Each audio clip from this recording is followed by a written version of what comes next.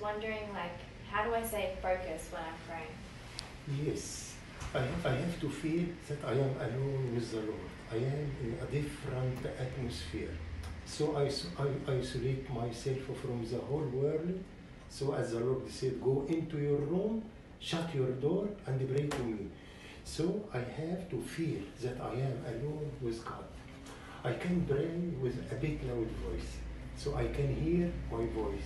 It makes me concentrate more and more. And I can use my movement.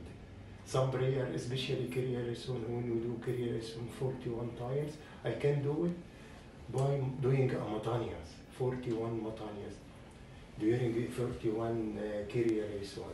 So when I hear my voice, I touch my Agpeya, I look, so many senses now are working, so I concentrate more. I never forget that I am standing in the presence of God. O Lord, make us worthy to pray thankfully, Our Father, who art in heaven. Hallowed be thy name.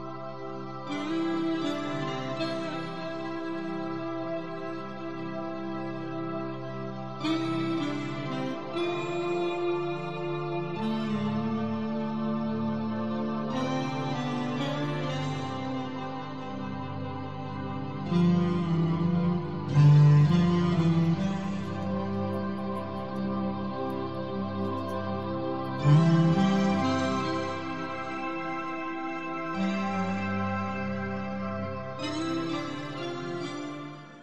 guys, welcome to my new episode. I hope all of you are doing very well. I have to admit it, I miss all of you so much. So let me tell you that the purpose of this episode is to share with you some notes and some tips that I follow while I'm praying.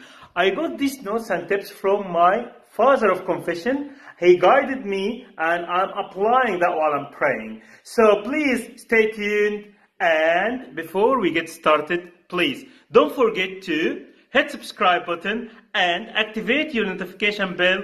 And the most but not the least guys it's very very important for me is to yes hit the like button. Let's get started.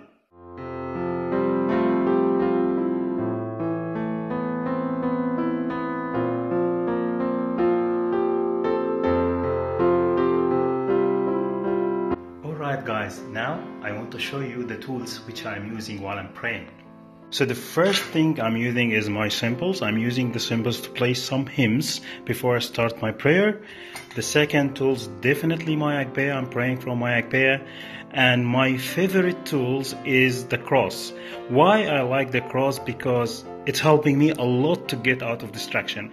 Every time I get distracted or losing the focus, I am doing the sign of the cross. This helping me a lot to stay focused while I'm praying.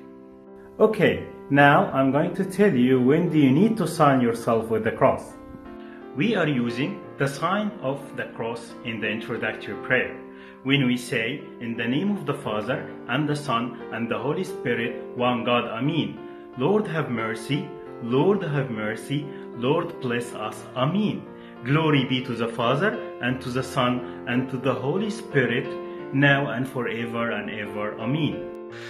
When we say Kyrie eleison or Lord have mercy, we do the sign of the cross. And also before doing Matania, we do the sign of the cross. The word holy need to be attached with the sign of the cross. So every time you say holy, holy, holy, you do the sign of the cross. When you say holy God, holy almighty, holy immortal, you do the sign of the cross. When you say, O Holy Trinity, have mercy upon us, you do the sign of the cross. I'm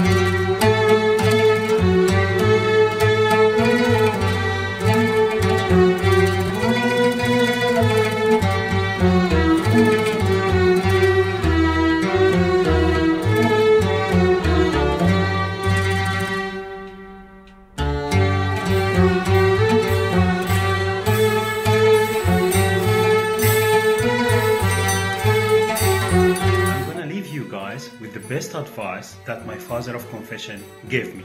pray out loud, nice and slowly. So sometimes we pray a little bit too fast and it doesn't help us concentrate. So, for example, sometimes people go, Let us give thanks to the gracious and merciful God, the Father of our Lord God. Well, very fast, yeah? But what, what's nicer is to pray slowly and then to stop after every paragraph and to offer a personal prayer. For example, in the Thanksgiving prayer, we could start, let us give thanks to the gracious and merciful God, the Father of our Lord, God and Saviour Jesus Christ, for he has protected, assisted, preserved and accepted us, spared us, supported us and brought us to this hour. So that's a paragraph and we'll just stop there.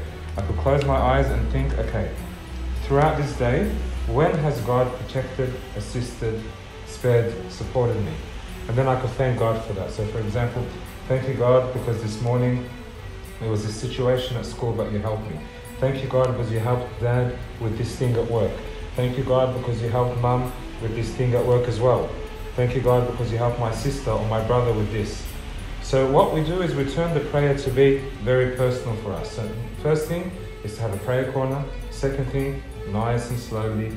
And the third thing is to stop in every section and to offer a personal prayer. Now, when we get distracted, because it happens to all of us, when we get distracted, we don't have to fight the distraction, say, no, no, no, I should be focusing. Very, very calmly, we just stop, take a few deep breaths, and then just go back to the section that we were in very peacefully.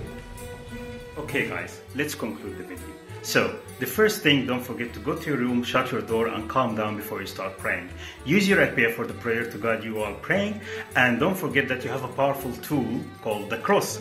Every time you get distracted, do the sign of the cross, and try to do the sign of the cross as many as you can. And don't forget that you are not in a hurry. Don't rush. Slow down while you are praying. Try to understand every single word you are saying. That will help you to make the prayer more meaningful. Okay guys, I hope you liked the video. So if you have any question related to the Agpeya or the prayer, please send me your question to the email which will appear on the screen right now. And stay tuned for my next video because I'm going to answer all your questions. I miss you guys. Stay safe, stay healthy. See you next video. Bye.